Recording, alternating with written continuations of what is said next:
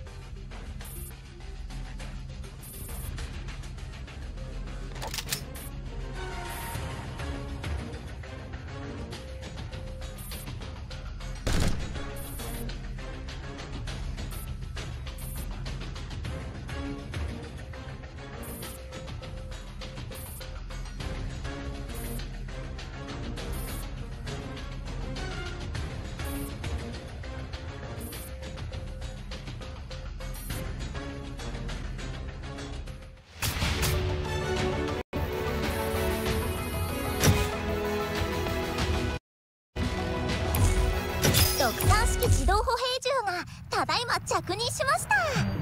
指揮官が私にもう一度活躍するチャンスを与えてくれたことに感謝しています。